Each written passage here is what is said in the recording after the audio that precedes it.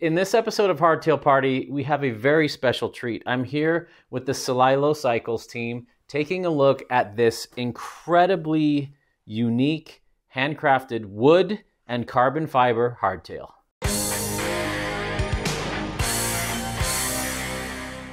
I'm here with Scott and Ozzie from Celilo Cycles. Scott is the mad scientist, engineer. This is your creation. We're going to talk all about it. Welcome, Scott. Thank you. Uh, Thanks for having us, Steve. Love, uh, love to be in the studio. It's so so cool to be in here. Well, and it's so cool for me to have your product in front of me. We first saw them a year ago at the Sedona Mountain Bike Festival, and I was blown away. And we've been in constant contact, and I'm so stoked to get one of these in and build it up and ride it. And I'm here with Ozzie, crash test pilot. I mean, uh, product tester.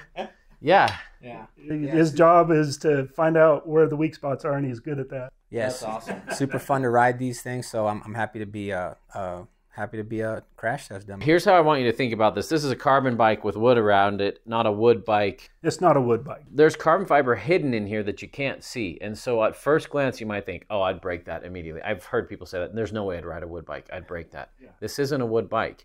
Think of it as like a canoe that you hollow out of a log, and then you line that with carbon fiber, and then you do that twice, and then you glue those together like those Pole bikes that are uh, machined out of aluminum and, and bonded together. Pole is a great analogy. That, that their manufacturing process is very similar to this. The, the CNC manufacturing and uh, machining inside and out.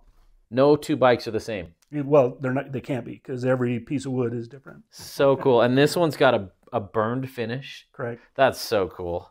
yeah, the just a little bit of charring. It, Yeah. the, to, it really brings out the character and makes the colors pop. Oh, it's beautiful. Okay, so talk us through how you came up with this idea because nobody else is doing anything like this. It, it it wasn't completely original to build wood bikes. There are lots of people building wood bikes, Bamboo uh, and bamboo, yeah. et cetera. And and my son sparked the the the conversation when he was twelve or something, wanting to learn how to weld so he could build a bike. Um, and I, I thought, well, that's been done.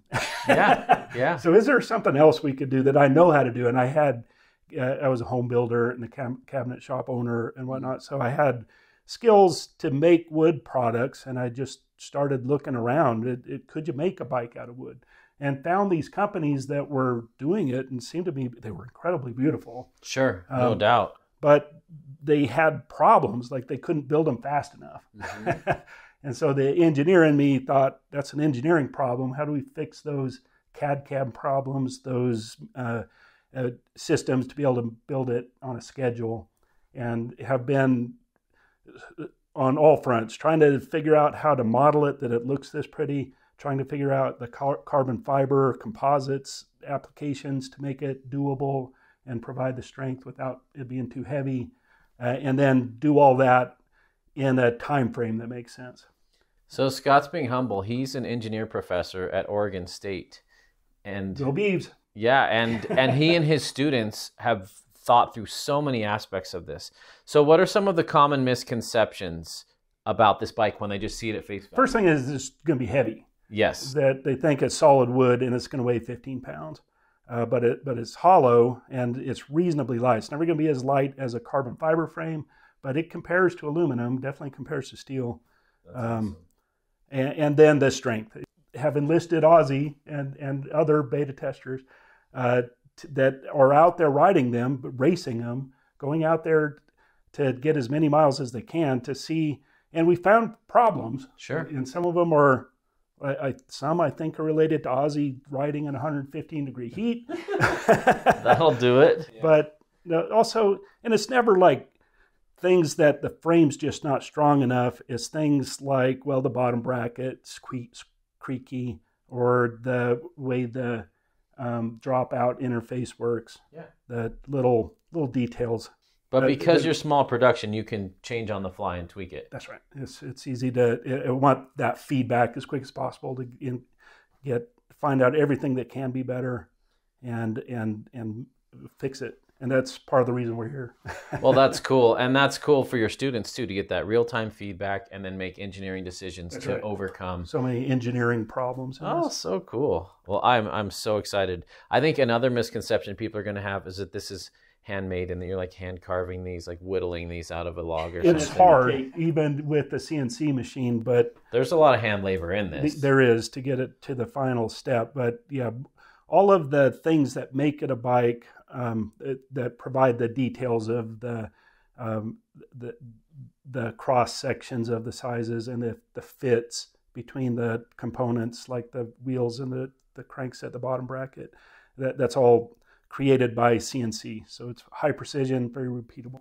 So it's a lot like that Pole. That's right. I mean, you machine two halves, bond carbon inside of it for the strength and that lightweight and internal tube and tube cable routing. And then instead of having one giant slab you're making out of this, you're doing this in sections and fitting them together like puzzle pieces. That's correct. It's, it's similar, uh, you know, tube construction that there's a top tube, down tube, seat tube, etc. And each piece, there's a left side top tube, a right side top tube. Um, the left side is all assembled as you're talking about and hollowed out and reinforced like you would a canoe or just a carbon fiber bike frame. Yeah. Um, and do that to both halves, sandwich them together. Uh, and then another reinforcement that's uh, expandable sleeve that's in each of the tube sections to bond the halves together, as well as this external stripe to bond the halves together. So it becomes a, a close to monocoque that it's Yeah. uh, bonded together and, and it's all continuous strength all the way through. So it's different than Pole in that sense that it's not all bolted together and just glued. It's Yeah, they just glue theirs together, Yeah. which is a little bit interesting. on adhesives are unreal these days, but Right. you've also got carbon fiber layup holding the two halves Bonding, together exactly. additionally. On. So this is super cool. So why wood? wood has two jobs. The wood that it does better than any other bike frame material. One is the damping properties that it, I like it that. sucks up the noise, and the other is it just looks so good. It does. If you ask me, it's the original carbon fiber. So right? Hey, that's so It- true. And honestly, low it- impact too. It, right, It- it- and the sustainability factor Yeah. is is a motivating factor. Yeah. Absolutely, using some natural fiber content, and so using things that um, that that it, especially I prefer to use lumber that's from a source that it it died naturally, that it was fell in a windstorm or um, so somehow that it wasn't. We just went into the woods to pull out the best tree we could find. Yeah, I like that. You know, um, in the world of us having five, six, seven bikes, it's easy to forget about the ecological impact of what we're doing. But I like that you're thinking about that, Thank you. and it's beautiful. I mean, it's this this thing has a story. This came, this was a tree. It was a living thing once. That's, right. So Not very cool. long ago. yeah, that is so cool. Ozzie, you've been riding these for a little while. Tell me what's a little bit different and what your reaction is on the trail when someone comes across one of these. I I instantly have to stop because they they they're just they're just looking at it. They're like, "Whoa!" And you know, you see that expression. Um, very common, especially when I take it to like little local races and things like that. And um, I'm happy to stop and, and talk about it. And um, my my initial reaction to un- unboxing this bike, very very similar to yours, was what a beautiful piece of art. You know, this is very easily something you can you can mount on a wall and just stare at it. And I actually had to do that for several weeks. I, I have to be honest with you. I didn't even ride it because I was just staring at it, you know, right in my living room. And uh, my wife finally budged me, like, "Hey, look, you got to ride this thing, man." He made a commitment. So, um, no, but it, it's it's uh, it's a very very unique piece of, of of art that's writable. You know, it's a functional art. It's unlike anything that I've written. So, um, this is something very special, and I'm I'm I'm super happy to be uh, you know, to be a part of the process. Well, I love that it's not just beautiful, but it's meant to be written. It's meant to be written, uh, and uh, um, I don't want there to be any disincentive to write it. It- it- I want it to look awesome, but get out there and write it. So this one's a prototype. You built this to my geometry. That's correct. Which We're is kind of experimenting. To me unusual, but but um, it- you know what you want. I do. I know what I like. Scott thinks I'm crazy. Everyone that I talk to that I tell my geo, they're like, "You're crazy." Even binary. When I told them about my maniac, they're like, "That is not gonna work." And then they built it, and they're like, "That's gonna work." But it's got a steep seat angle. Uh, we'll take a whole geo measurements, but this is pretty close to my maniac. It's not quite as slack, which I, I wanted a great trail bike. I knew this was gonna hopefully deaden trail chatter and just be a quiet, smooth ride.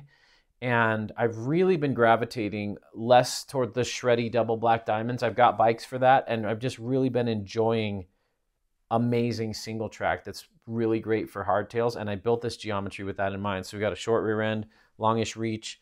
And I think it's like a 66 degree head angle. We'll measure it. Um, nice tall stack, so real comfortable ride position.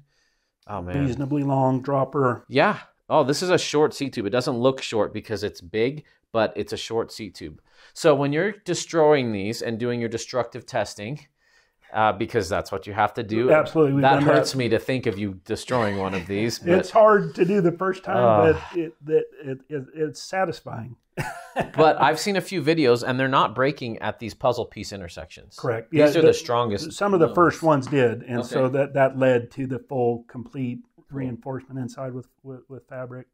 Um, and so the last one, yeah, we just loaded it up, and it it, it took a lot of force and flexed a lot. Interesting. A, a, a, sort of an amazing amount. And when it did finally fail, it wasn't a just shatter catastrophic failure. It was just it lots of little spots mm. that you could see on the stress strain curve. Yeah, it's failed, but it still was holding a lot of force, like enough that you could ride out of the forest. Cool.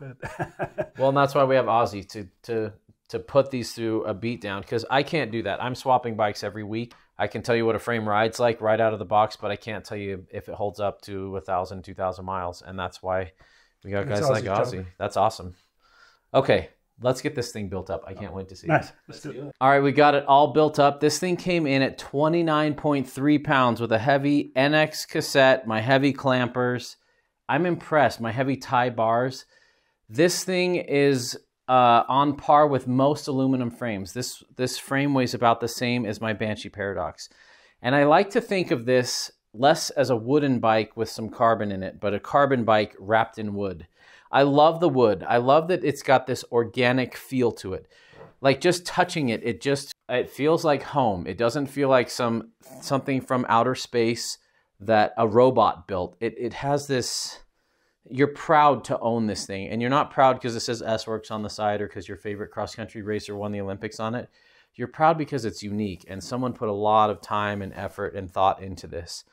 I love the innovative construction technique, the the hollowing out blocks of wood, you know, running tubes in it for the internal cable routing. The, the tube and tube was perfect. You just push it in, it pops out right where it should pop out.